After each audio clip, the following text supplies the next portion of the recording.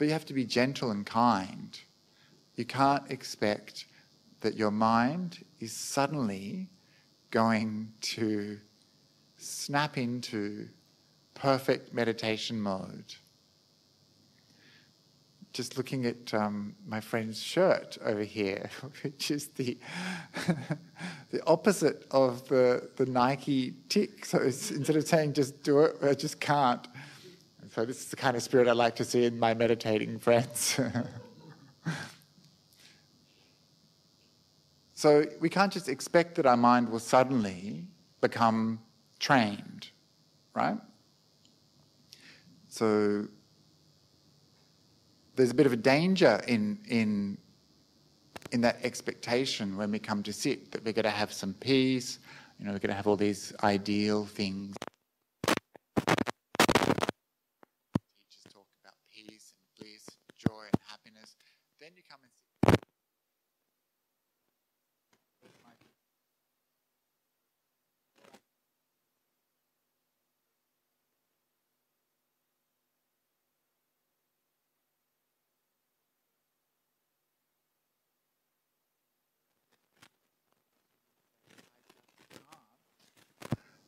Do meditation and give up.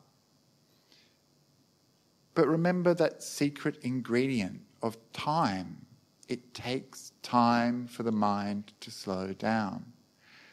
And so we give ourselves that gift of time to allow ourselves to gently ease in to our practice.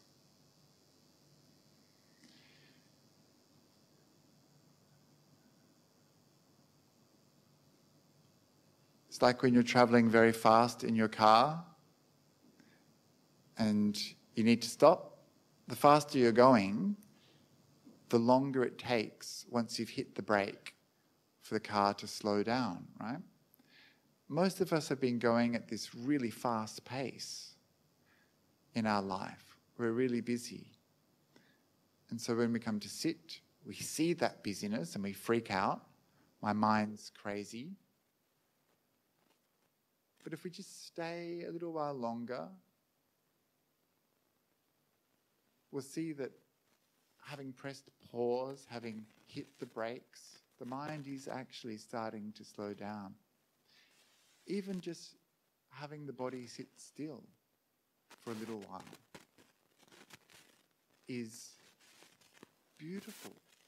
You don't have to do anything. Closing your eyes. Thank goodness I don't have to look at it.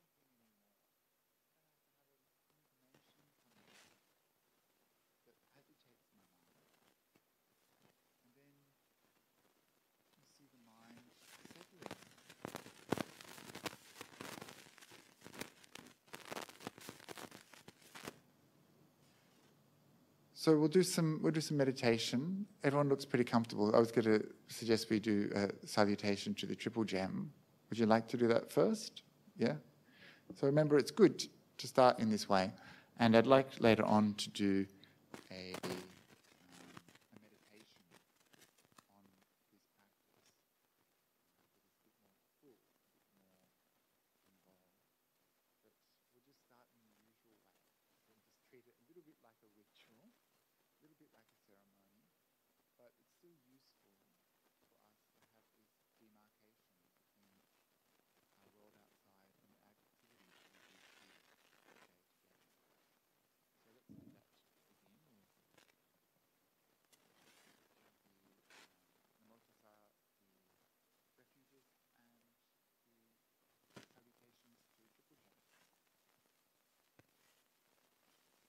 So we begin by bowing three times.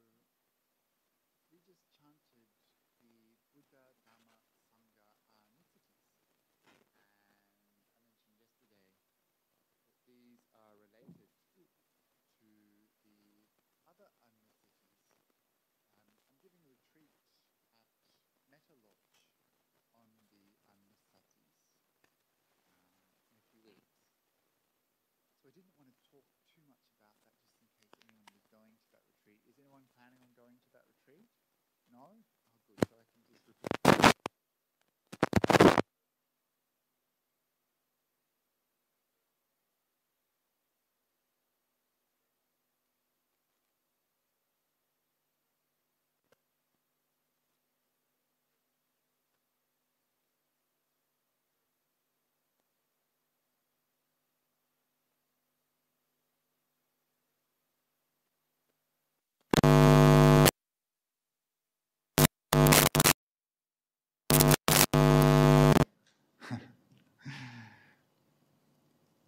To inspire us?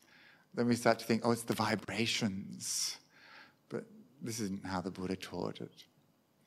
It's the meaning of the words that is powerful. And if we had longer, we could really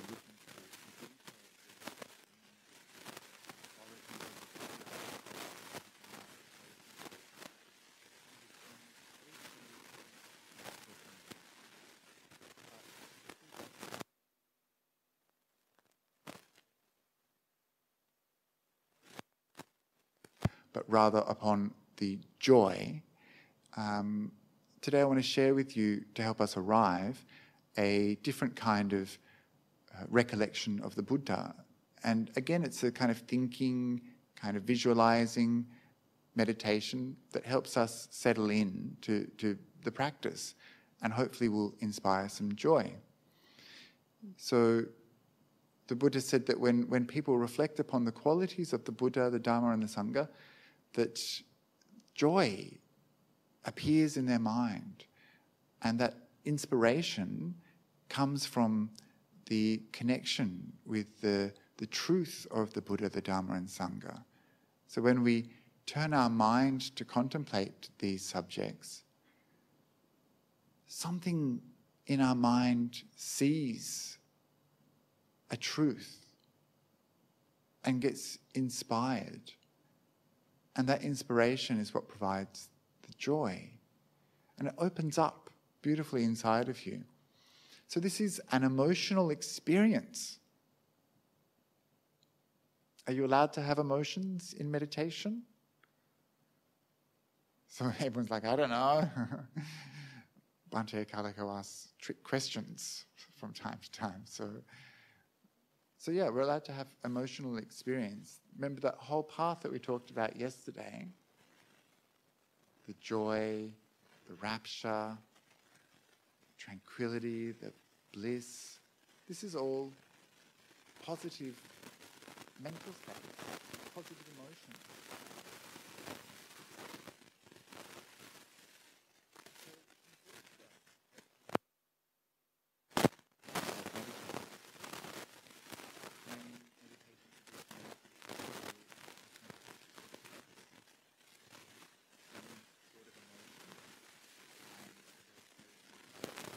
Ignore ignore the bliss. Don't judge the joy. And try to step out of it. But I know that many of you are Ajahn Brahm. So I don't, I don't have to convince you. So, be aware Buddha development relies on positive emotional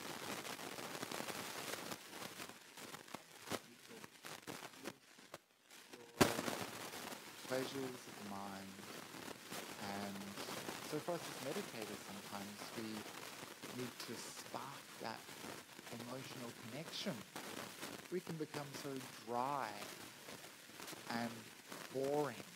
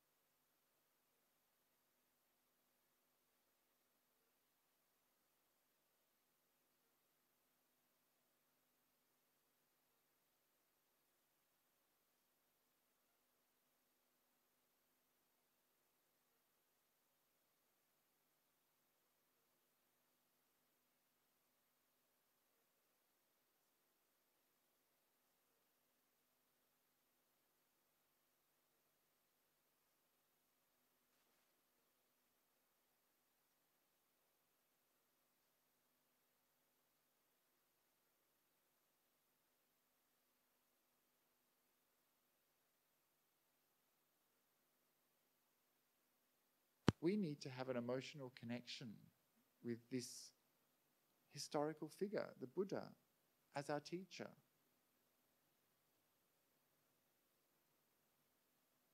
We need to feel that we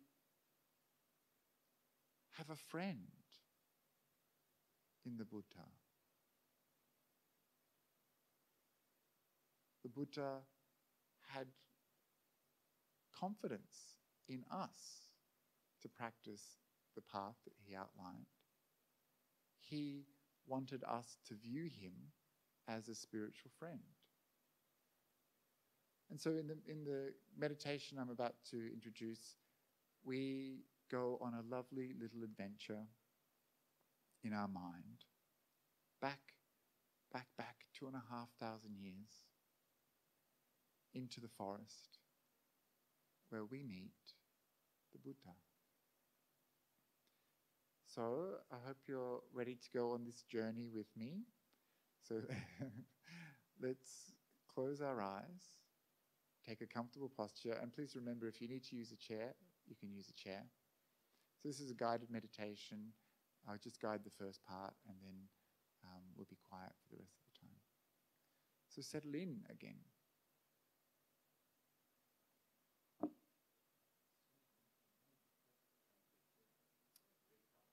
Raised up, made warmer. Yes, yes, let's get it back to ancient India, nice and warm.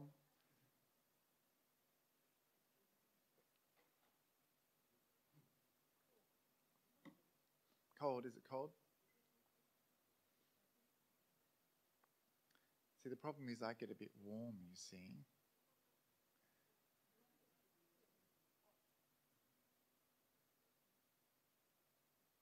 You can always move um, as well.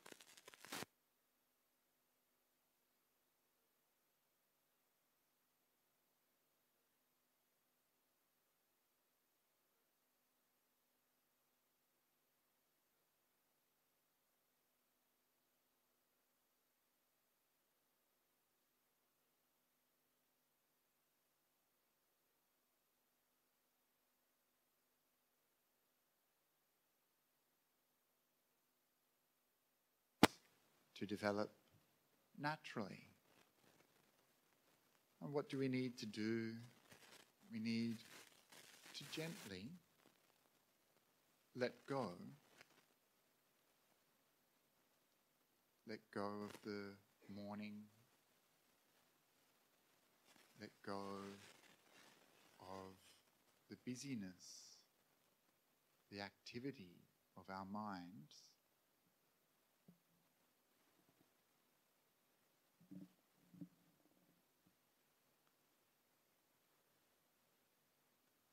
Leaving the world outside.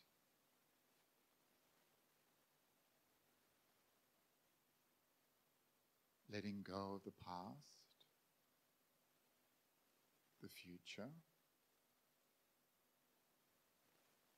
so that we can be free from the past, free from the future.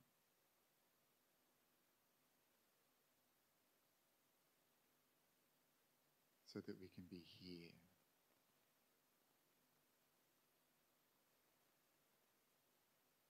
Now.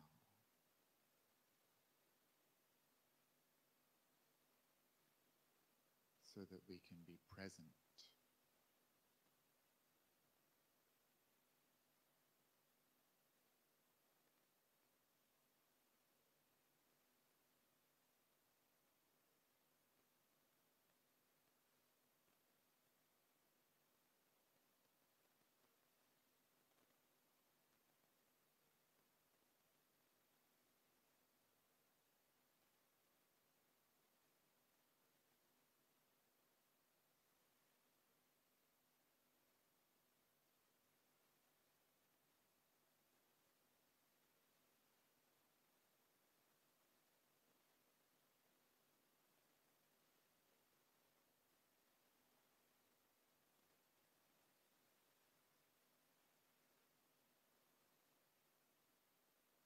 So being present means we develop an awareness of what's going on right here, right now.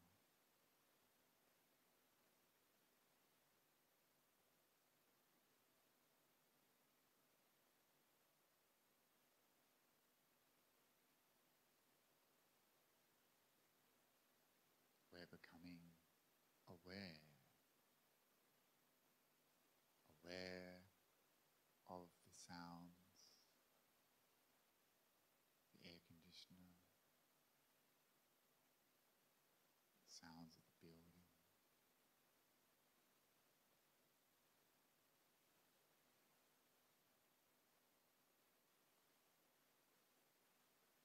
We're aware of the people around us.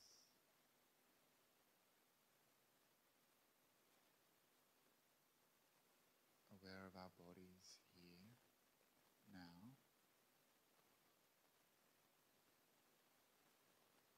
Aware of the shape of our body and posture.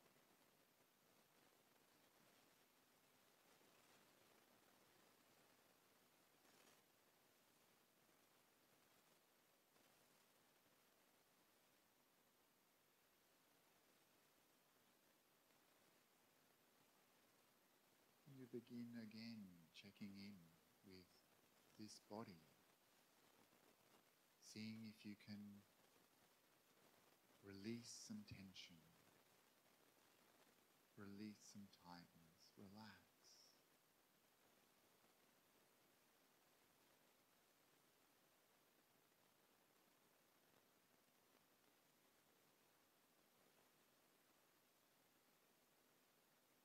And allow the mind to settle.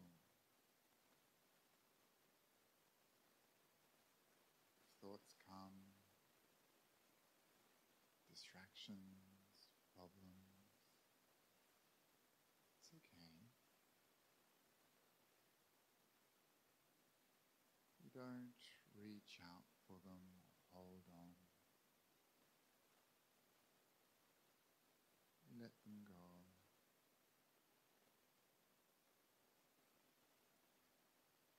You don't get involved.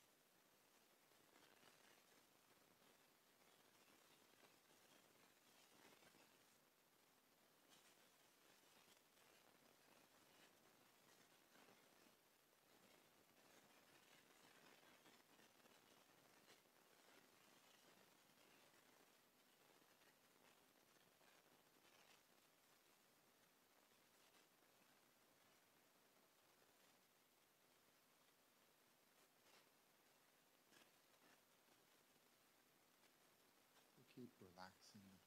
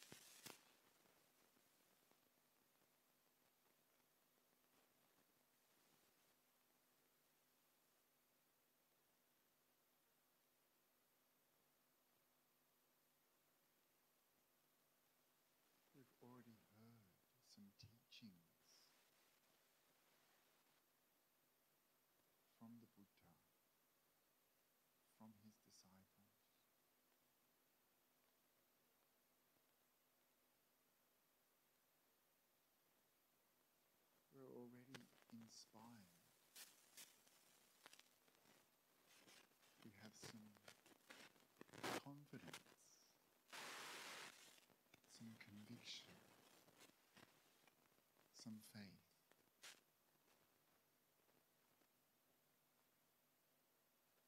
We want to learn more. And this is why today we're approaching the Buddha.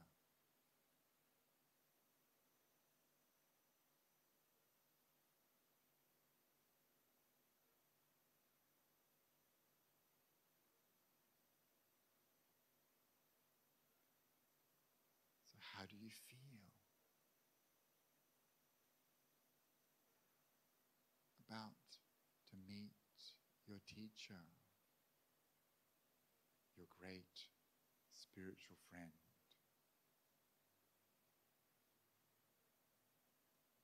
Feeling of warmth.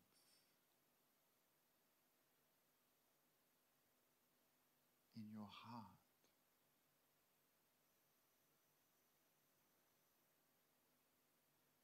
you're excited.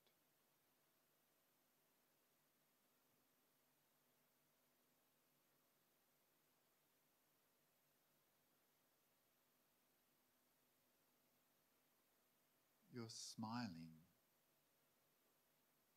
in anticipation.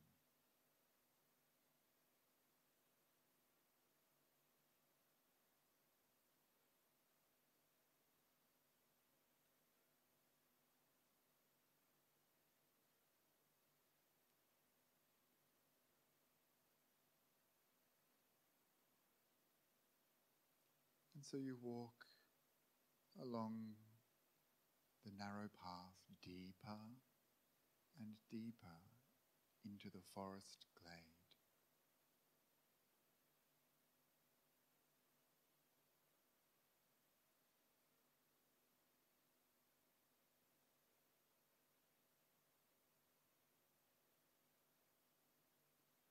And you see off in the distance under a great shady tree, a figure.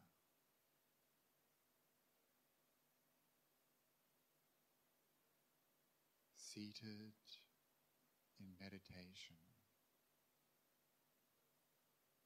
a shaved head,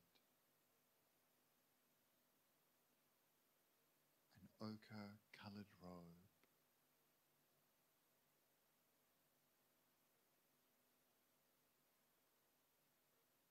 the Buddha.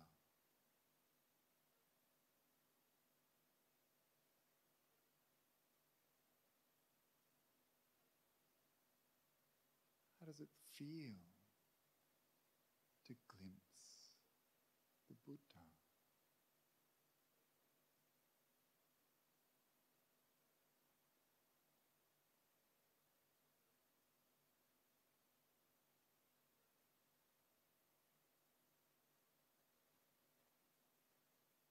There he is, your teacher, your friend.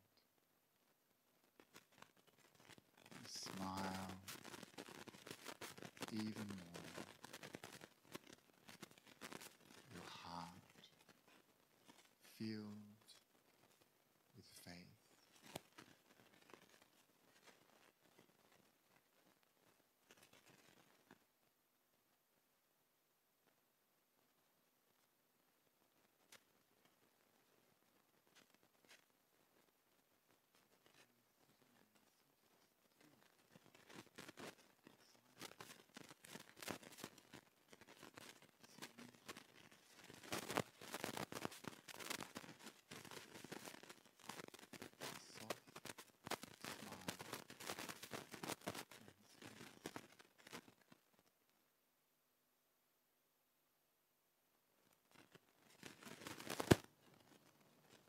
So quietly now, quietly, you step forward and come closer.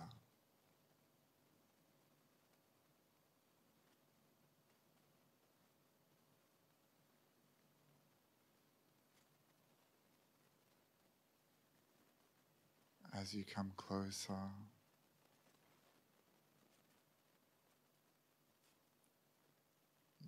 You you feel good.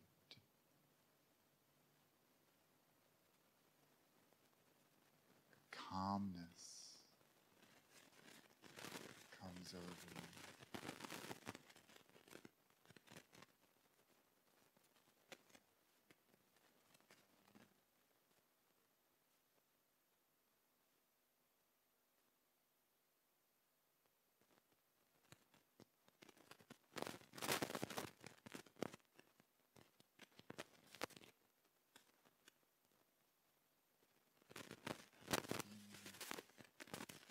brightness, goodness in your heart.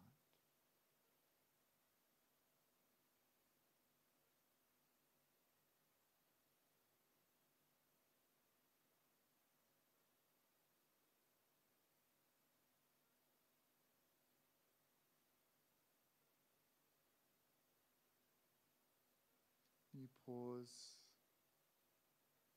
a respectful distance away.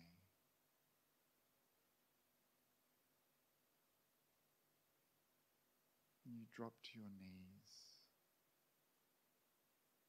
your hands in Anjali. You feel so much emotion.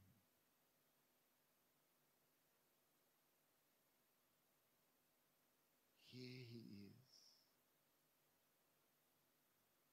the Buddha, perfectly enlightened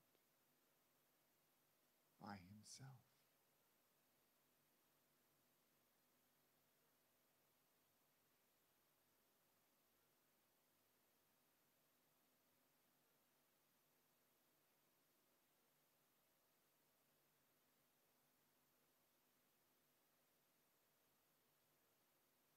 Perfect in wisdom and conduct.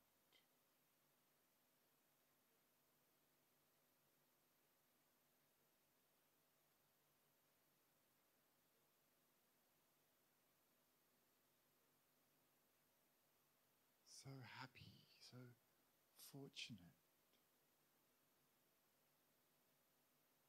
so wise, he knows all the worlds.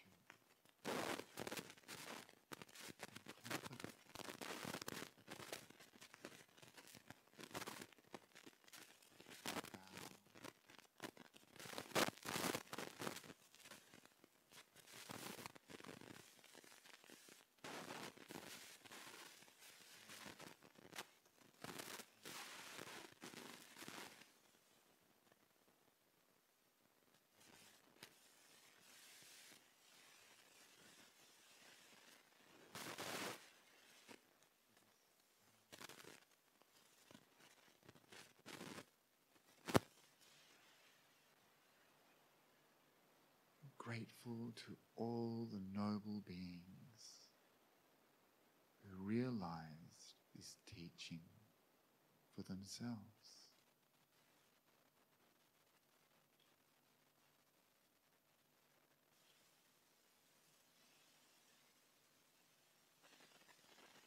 Your heart swells with gratitude.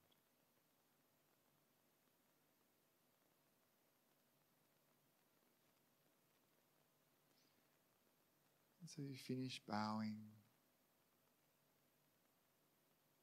and you sit in meditation.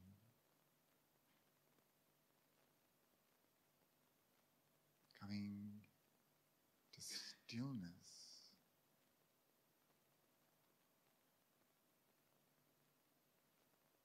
All your questions vanish.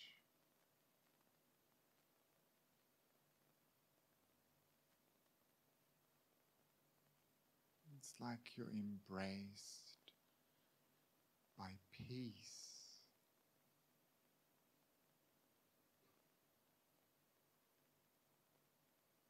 You want to just sink down, sink into that peace.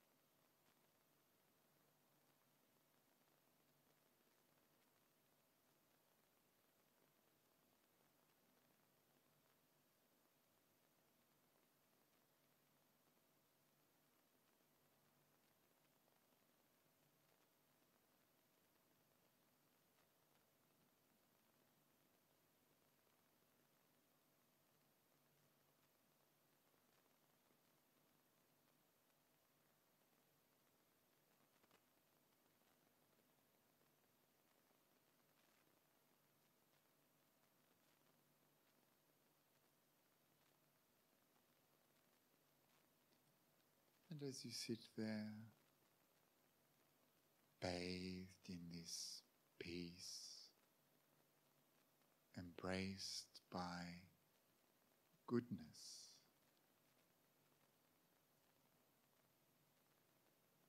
you feel inspired. You feel joyful.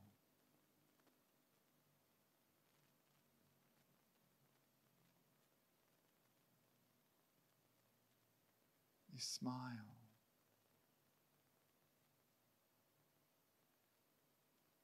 You feel light and happy.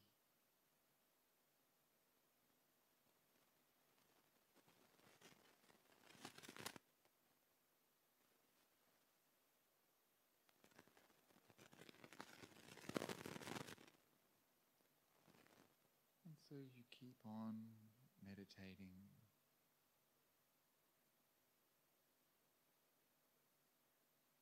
Keep on experiencing this peace, this calm, this goodness.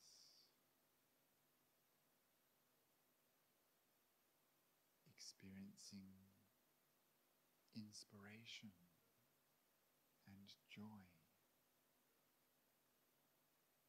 Just happy to be there.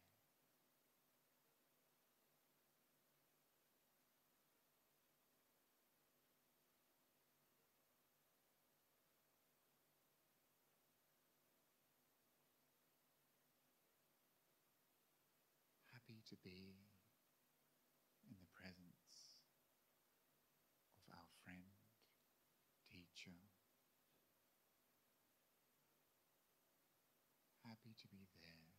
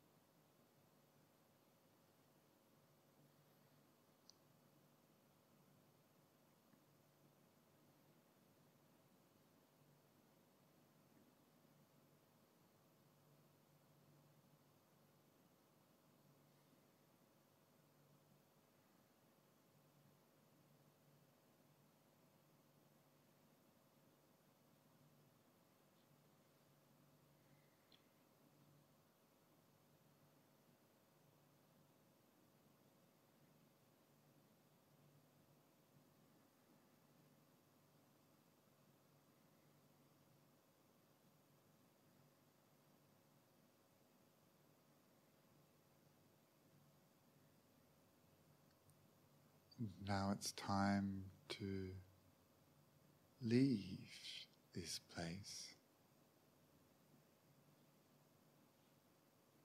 You leave feeling transformed, having experienced this peace, calm, this joy and inspiration. You're so thankful.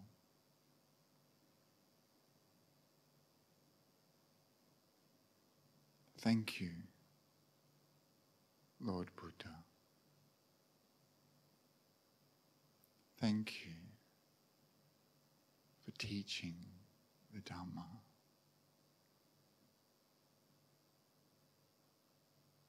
With your heart full of gratitude, bow down three times.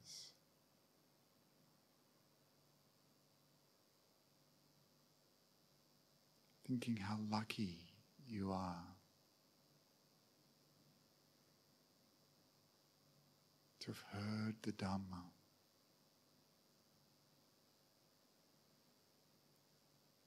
To have such a profound teacher and friend who cares about you,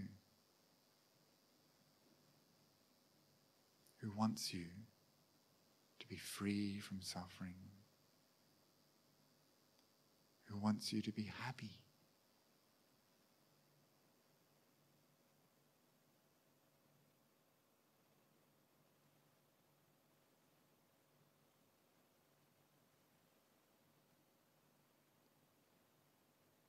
And so quietly you rise and careful. You slowly walk away back into the forest.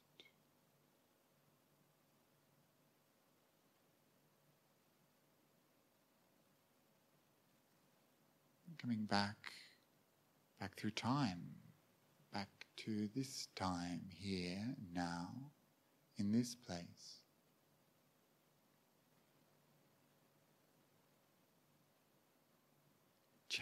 Changed somehow. Back to this room. Back to these, our spiritual friends, here and now.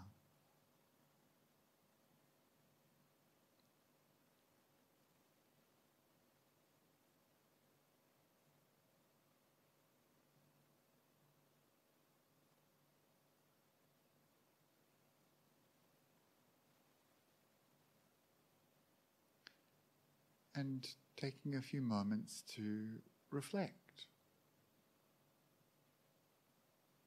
How was it thinking about our teacher?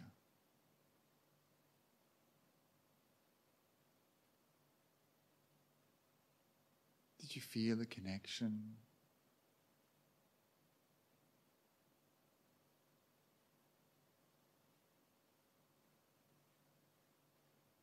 Was there some peace?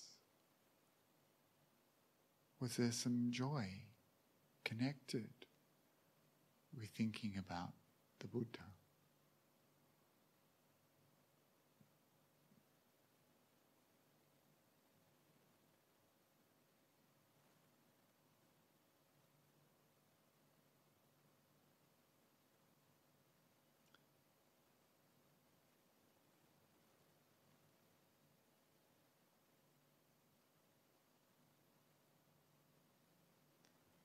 Now, letting that contemplation go, arising from the meditation. And when you're ready, opening the eyes.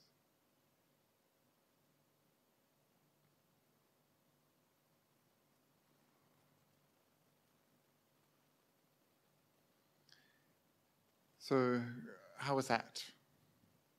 Is okay? Yeah? So these, these kind of um, techniques, these are not something that I do a lot myself in my own practice, These are just ways that we might re inspire the mind if we're feeling a bit kind of dull and a bit bored in our practice, or that we find our practice becoming a little bit habitual and a bit uh, uninspiring. We can do these kinds of activities to bring us back to the kind of joy and inspiration that we might have felt in the past. Perhaps when you first discovered the Buddha's teachings, you felt so much inspiration and meaning in your heart. And over time, sometimes we can become a little bit blase. And then we find ourselves just bowing down three times without even thinking anymore about the teacher or the teachings, what it would mean to understand those teachings and become an enlightened being. And so, you know, we, we might bow down three times and do a bit of chanting, but that's not going to transform our hearts. It might feel nice and comforting, like a ritual does. and that's useful in itself. But to have an emotional connection to the Buddha, the Dhamma, and the Sangha, something that inspires your mind and brings joy into your heart. This is how the Buddha invited us to contemplate the Buddha, Dharma, and Sangha, understanding the qualities that they have, feeling an emotional connection, and that the path flowers within us when we contemplate these things. This is an opportunity for our hearts to open up, for the Dharma to grow inside us and blossom. And so, if that's happening to you, then you should be feeling happy, right? You should be feeling some joy. And so, this is the potential of contemplating the Buddha, the Dharma, and the Sangha. So, we're going to leave it there. We're going to take a, a 10 minute break and we'll come back at. Um, we'll come back at quarter past 10. Okay?